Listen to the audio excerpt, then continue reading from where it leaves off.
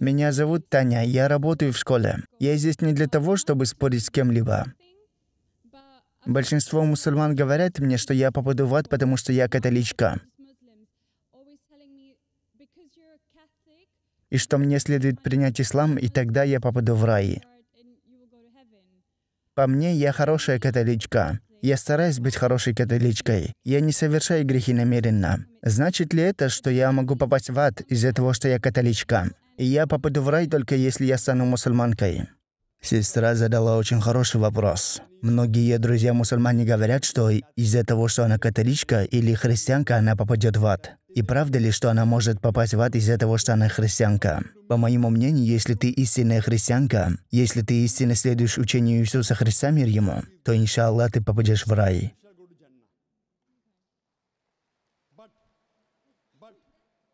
Но только если ты истинно следуешь учению Иисуса Христа, мир ему.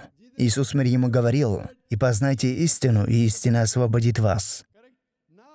Сейчас я не знаю, чему ты следуешь. Я не знаю, следуешь ли ты своей церкви или следуешь Иисусу Христу мир Ему. Если ты следуешь своей церкви, то шанс попасть в ад очень высокий. Но если ты следуешь за Иисусом мир Ему, то, иншаллах, ты попадешь в рай. Если ты читал Библию, в ней есть слова Иисуса мир Ему. Все высказывания Иисуса мир Ему в Библии напечатаны красными буквами. Красным цветом? Сестра, веришь ли ты, что Иисус — это Бог? Я немного сомневаюсь в этом вопросе. Я не хочу выдаваться в него. Я спрашиваю, да или нет. Ну, я... Ты запуталась в Боге? Нет, я не запуталась. Я просто не хочу говорить о том, чего не знаю. Сестра, я не спрашиваю, знаешь ли ты или нет. Я спрашиваю, во что ты веришь. Да, я верю, что Он Бог. Хорошо, я не спрашиваю о том, чего ты не знаешь. Я не заставляю тебя доказывать это. Сестра, ислам — это единственная нехристианская религия, которая ставит условием веры веру в Иисуса Христа мир ему. Ни один мусульманин не является мусульманином, если он не верит в Иисуса Христа мир ему. Мы верим, что он один из самых великих посланников Бога. И мы верим, что он был рожден чудесным образом без оплодотворения. И мы верим, что он Мессия, что значит Христос. И мы верим, что Он оживлял мертвых за дозволения Господа.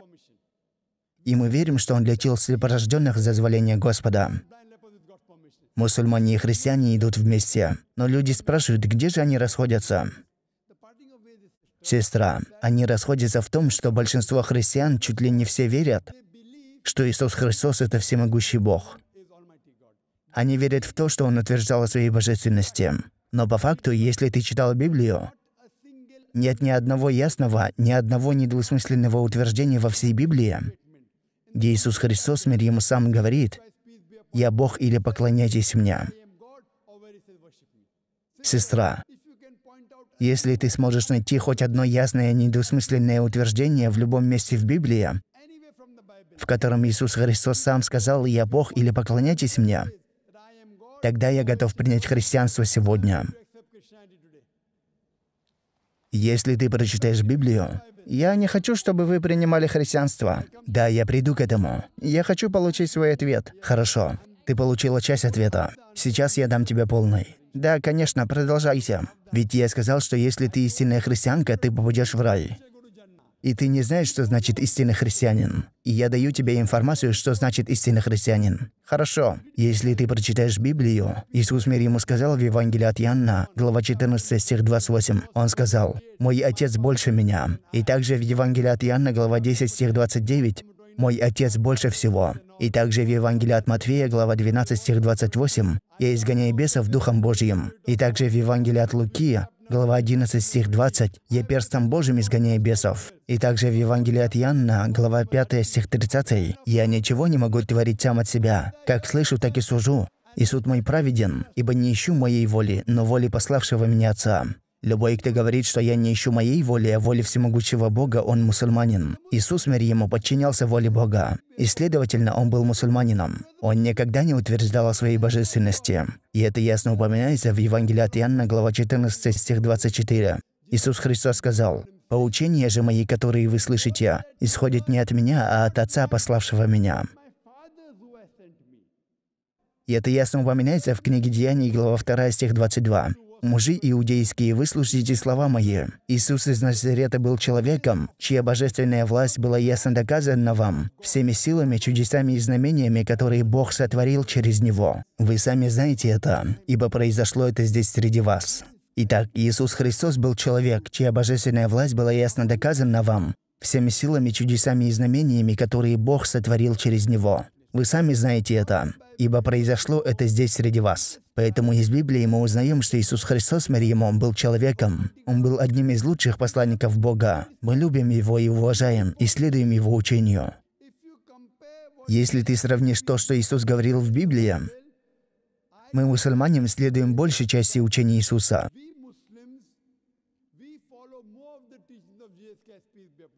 Иисус, мир ему, если прочитать Библию, был обрезан на восьмой день. Все мусульмане обрезаны, тогда как большинство христиан нет. Иисус, мир ему, сказал в Евангелии от Матфея, глава 5, стих 17. «Не думайте, что я пришел с тем, чтобы уничтожить закон или писание пророков. Я пришел не для того, чтобы их уничтожить, а чтобы исполнить их учения. Так что вы обязаны следовать каждому закону Старого Завета». И также ранее я говорил, и это упоминается в книге Второзакония, глава 14, стих 8, и в книге Исаии, глава 64, стихи от 2 по 5, и в книге Левит, глава 1, стихи от 7 по 8. Вы не должны употреблять свинину. Мусульмане не едят свинину, а большинство христиан едят.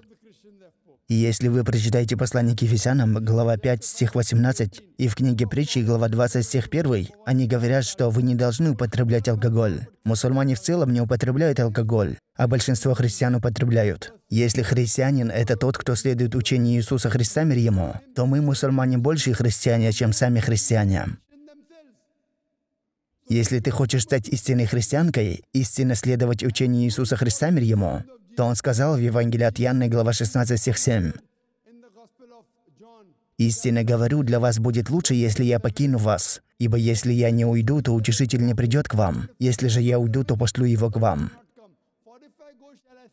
И также Иисус сказал в Евангелии от Иоанна, глава 16, стихи с 12 по 14. «Еще много имею сказать вам, но теперь вы не сможете вместить. Когда же придет Он, Дух истины, то наставит вас на всю истину. Ибо не от себя говорить будет, но будет говорить, что услышит, и будущее возвестит вам. Он прославит меня, ибо возьмет от меня то, что мое, и откроет это вам. Так что Иисус мир говорил о приходе последнего и заключительного посланника пророка Мухаммеда мир Поэтому если ты истинная христианка и истинно веришь в Иисуса мир ты обязана верить в последнего и заключительного посланника пророка Мухаммеда мир Поэтому если ты истинная христианка, то уверуешь в пророка Мухаммеда, иншаллах, и попадешь в рай. Надеюсь, я ответил на вопрос. Ассаламу алейкум, братья и сестры. Это автор канала «Призыв Дава». Я хочу обратиться к вам с просьбой поддержать мой канал финансово. Благодаря вашей поддержке вы станете причиной для наставления людей на прямой путь. Тем самым вы поддерживаете исламский дават. Аллах наградит вас за это. Ассаляму алейкум.